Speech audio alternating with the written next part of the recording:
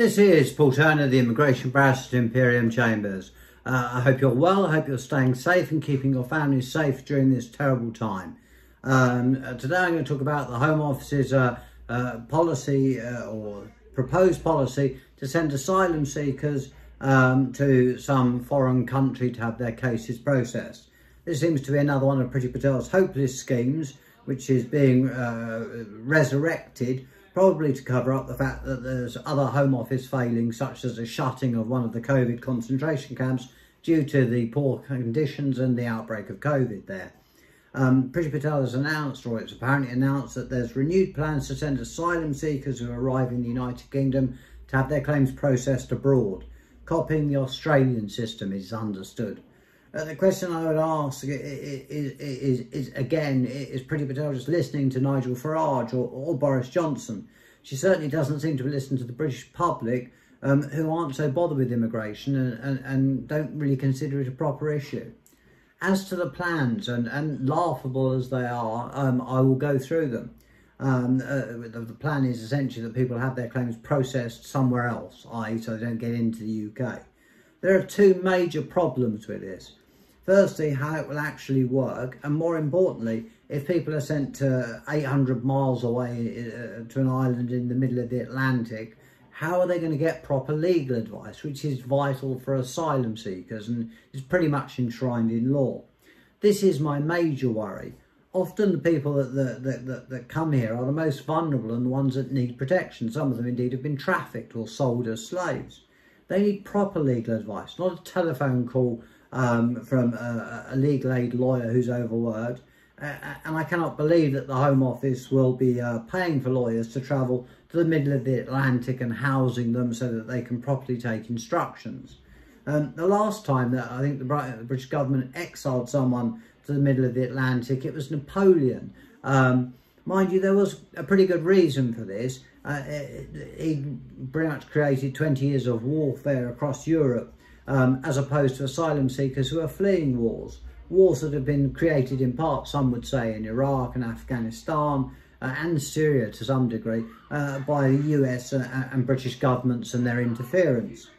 Uh, previously, um, as I mentioned, they were going to send people to a remote island in the Atlantic.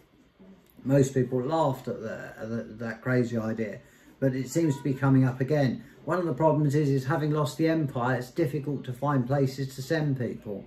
The Secretary of State, while under fire for handling uh, uh COVID and, and detention, um, uh, is seeking again to target those that arrive illegally, as most asylum seekers do, as it's not really possible to claim asylum from abroad.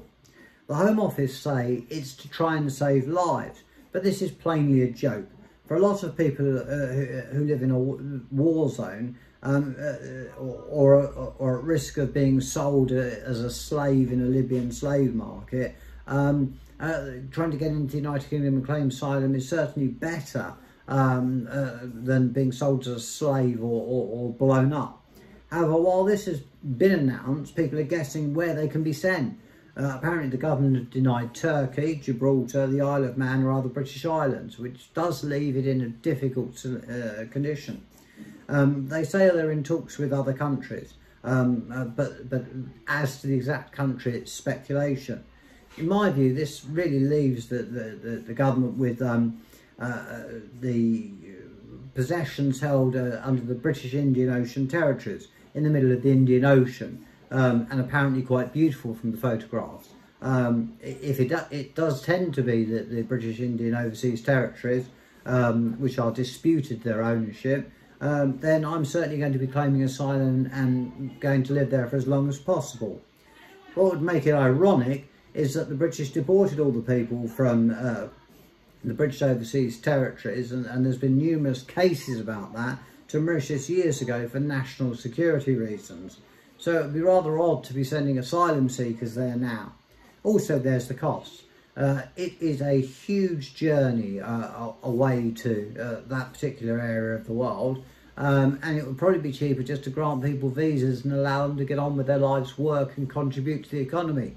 Goodness knows the economy needs um, additional work and contributions given the amount of money the government's had to pay out due to the coronavirus pandemic and the hopeless handling of the pandemic by this particular government. Um, uh, I hope it, would be nice if we got a new Secretary of State, or, or at least she stopped opening her mouth with these stupid ideas. Um, I, I, hope you've enjoyed watching this video. Uh, please keep tuned if you're interested in any immigration news, and please subscribe to my channel. Once again, thank you for watching. This is Paul Turner, the Immigration Barrister at Imperium Chambers.